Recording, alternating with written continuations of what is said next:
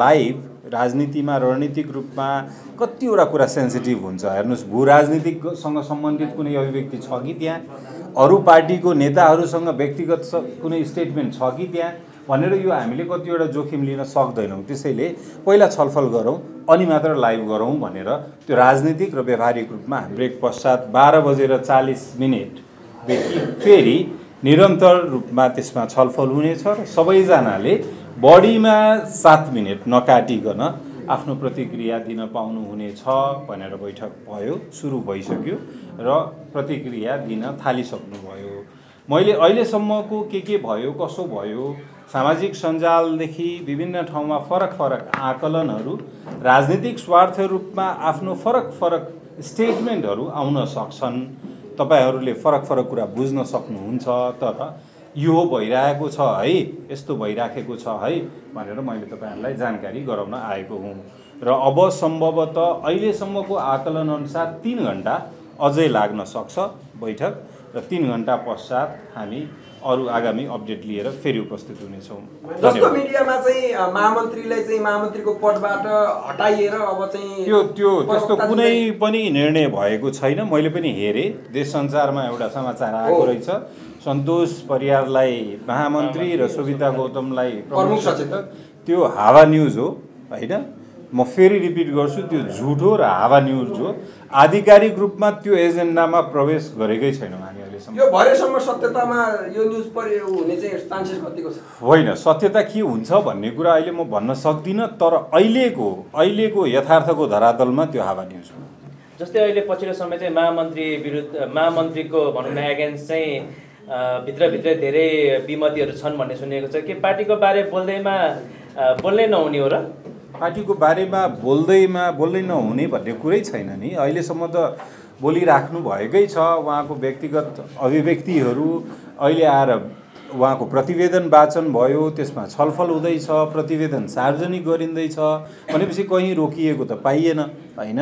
कहीँ रोकिएको पाइएन तर लाइभ राजनीतिमा रणनीतिक रूपमा कतिवटा कुरा सेन्सिटिभ हुन्छ। हेर्नुहोस् भू राजनीतिकसँग सम्बन्धित कुनै अभिव्यक्ति छ कि त्यहाँ? अरू पार्टीको नेताहरूसँग व्यक्तिगत कुनै स्टेटमेन्ट छ कि त्यहाँ? भनेर यो हामीले कतिवटा जोखिम लिन सक्दैनौँ। त्यसैले पहिला छलफल गरौँ अनि मात्र लाइभ गरौँ भनेर त्यो राजनीतिक र व्यावहारिक रूपमा हामीले हेरेको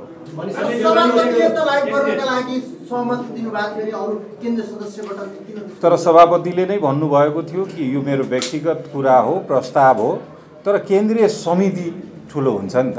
त्यसले गर्दाखेरि तपाईँहरूकै कतिवटा अभियोग र तपाईँहरूको आशंका पनि चिर्यौँ नि आज हामीले कि सभापतिले भनेको सबै कुरा हुँदैन है? म आउँदै गर्दाखेरि जम्मा छैन? त्यो एजेन्डा प्रवेश गरेको छैन। आजको बिहान आठ बजेदेखि भएको बैठकको अहिलेसम्मको एउटा मात्र एजेन्डामा हामी छलफल गरिरहेका छौँ।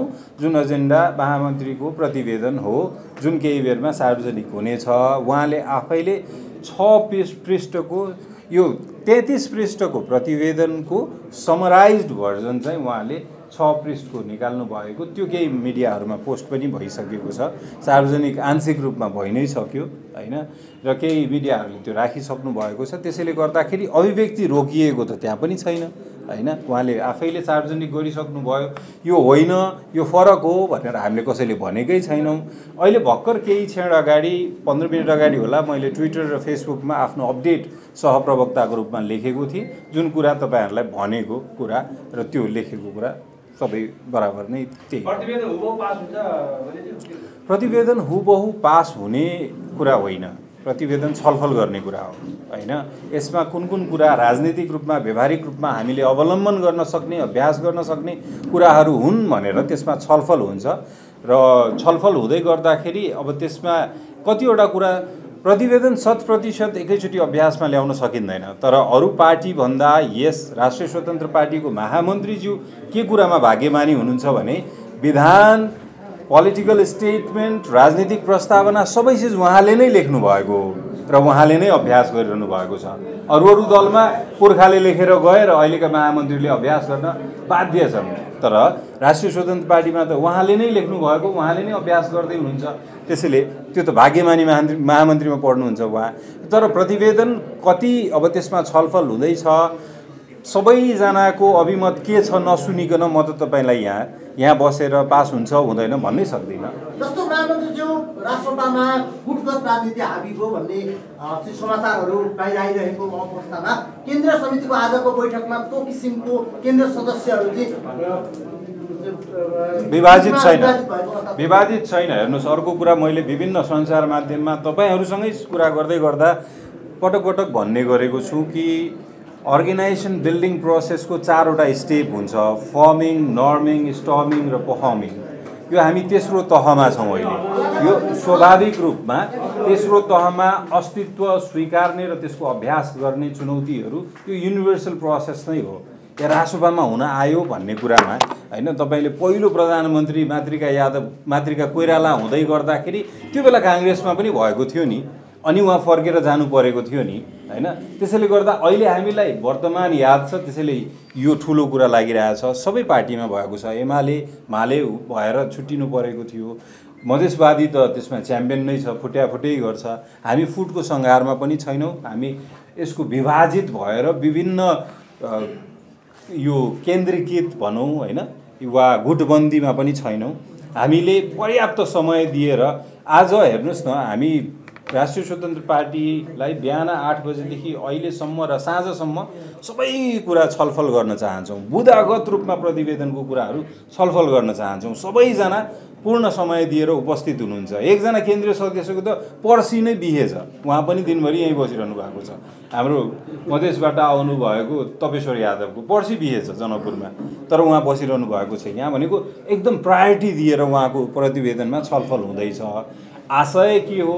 त्यसले के के हामीलाई राम्रो हुन्छ नराम्रो हुन्छ भन्ने कुरामा छलफल भइराखेको छ। प्रायोरिटी सबैले दिएकोले गर्दाखेरि त पर्सि बिहे भएको मान्छे पनि आज आएर बसिरहनु भएको छ। अन्तिममा एउटा प्रश्न जस्तो महामन्त्रीज्यूलाई चाहिँ यहाँ समितिमा पेस गर्नुभन्दा यो तयार पारिएको प्रतिवेदन बाहिर पहिला गयो यसलाई चाहिँ अनुशासनको कारवाही गर्ने भन्ने पनि समाचार बाहिर चाहिँ त्यसमा केही आंशिक असन्तुष्टिहरू आएको छ र अहिले त अब बल्ल बोल्न थाल्नु भएको छ सबैजना। त्यसमा असन्तुष्टिहरू छन् कि यहाँ प्रतिवेदन प्रस्तुत गरेर छलफल गरेर मात्र बाहिर सार्वजनिक गरिदिनु भएको भए झन् त्यो निखारिन्थ्यो नि होइन? त्यो झन् राम्रो हुन्थ्यो तिखारिन्थ्यो निखारिन्थ्यो अरू परिष्कृत भएर बजारमा जान्थ्यो। त्यसैले गर्दाखेरि त्यसमा त्यो गुनासोभन्दा पनि सरोकार हो सबैजनाको अनुशासनको कारवाही हुने सम्भावना बलियो छ। त्यसको बारेमा हामीले अहिले कुनै एजेन्डा राखेको छैनौँ छलफलमा र छलफल हुने छैन त्यसको बारेमा। सम्भवतः एक सप्ताहभित्र यसको बारेमा छलफल भएर आगामी कुनै डिसिजन लिइनेछ र त्यसलाई चाहिँ सेन्सिटिभ रूपमा पार्टीको सबै पक्षले सबै विभाग र सबै पदाधिकारी सबै केन्द्रीय सदस्यले हेर्नु भएको छ र त्यसमा पनि छलफल अवश्य हुनेछ। अब म फेरि। सके पश्चात तपाईँहरूलाई बाँकी अपडेट लिएर आउँला। धन्यवाद। धन्यवाद।